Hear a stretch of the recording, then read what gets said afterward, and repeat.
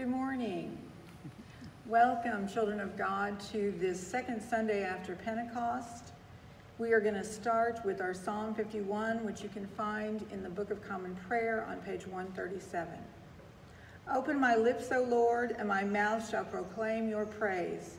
Create in me a clean heart, O God, and renew a right spirit within me. Cast me not away from your presence, and take not your Holy Spirit from me.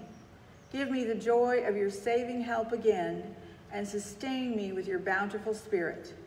Glory to the Father, and to the Son, and to the Holy Spirit, as it was in the beginning, is now, and will be forever. Amen.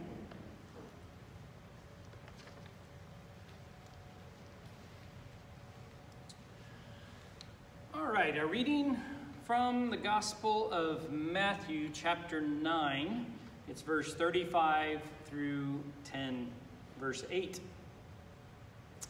It says, Then Jesus made a circuit of all the towns and villages.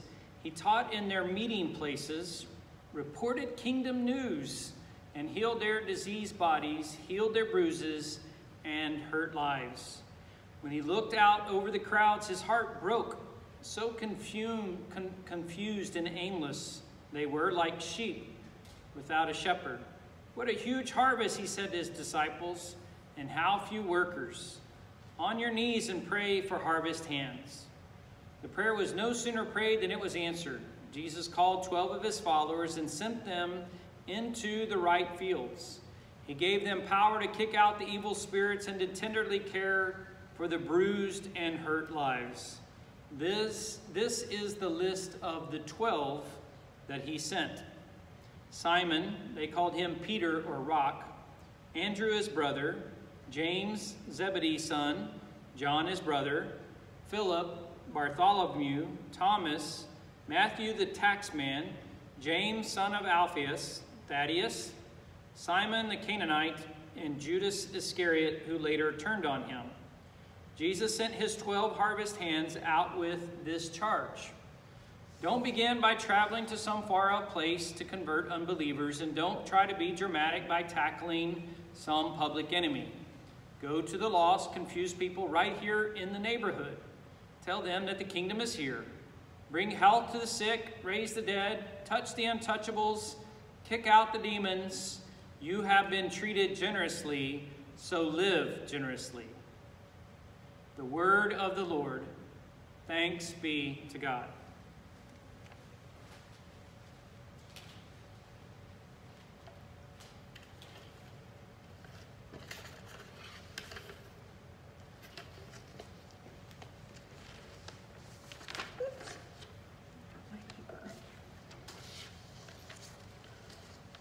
All right, today in today's scripture, Jesus is again talking to his disciples.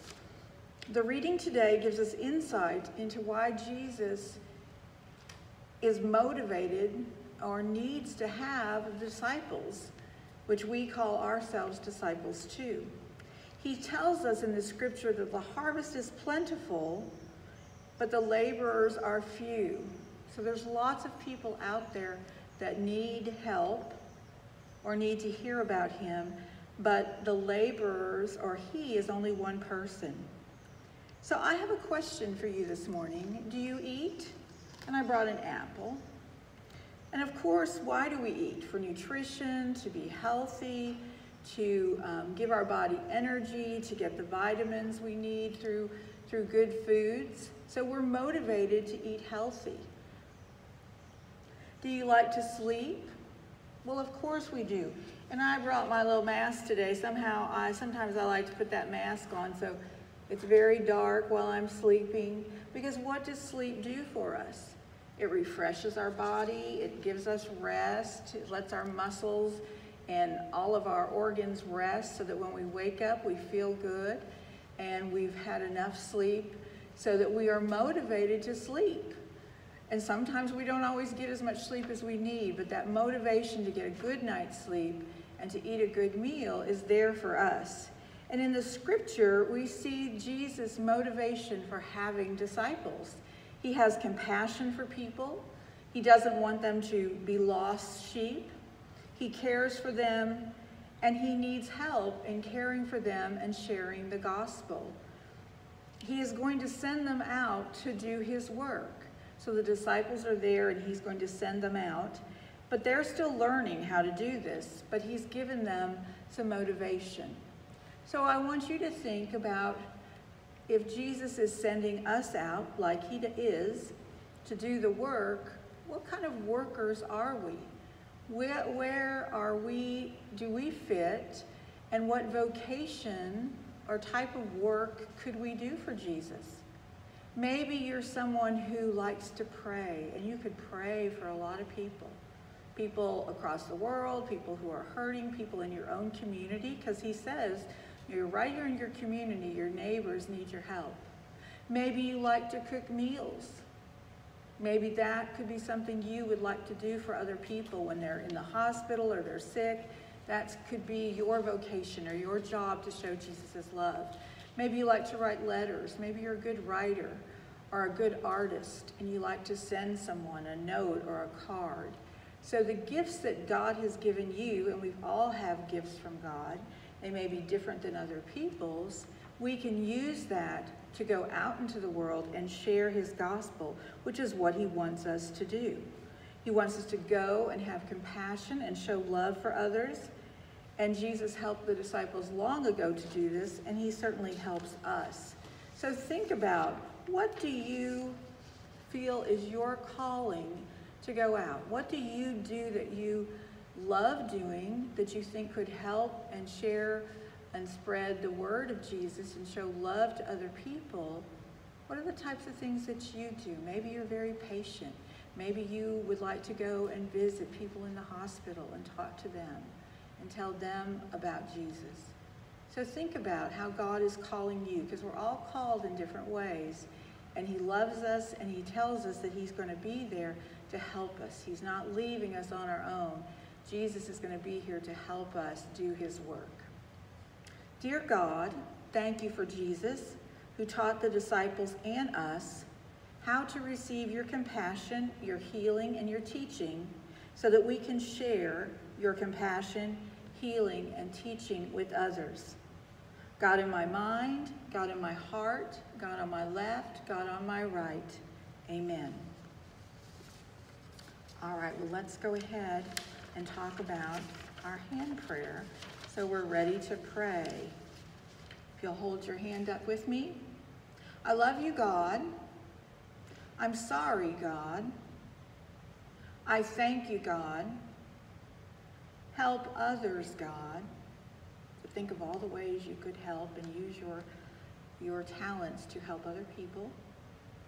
Help me, God, to go out and love Jesus and share his news. And I'm listening, God. Amen.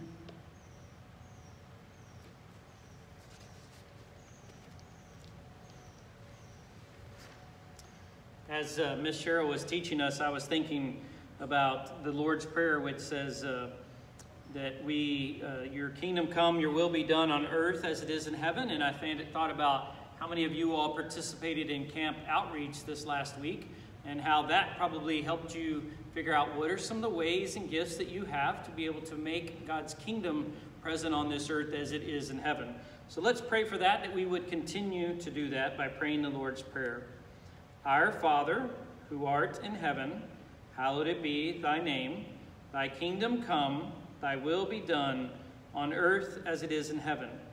Give us this day our daily bread, and forgive us our trespasses, as we forgive those who trespass against us and lead us not into temptation, but deliver us from evil. For thine is the kingdom and the power and the glory forever and ever. Amen. And if you had printed out your bulletin, I'm not going to use the collect in there. I'm going to use the one on page 137 at the bottom of daily devotions. Lord God, Almighty and everlasting Father, you have brought us in safety to this new day. Preserve us with your mighty power that we might not fall into sin nor be overcome by any adversity, and in all we do, direct us to the fulfilling of your purpose through Jesus Christ our Lord. Amen.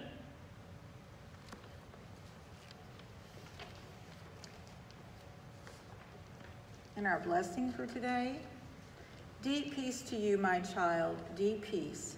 Peace in your body, peace in your mind, peace in your spirit. As you breathe in deeply, breathe in peace. May the worries of your mind seem far away. May you know God's love for you and your family's love too.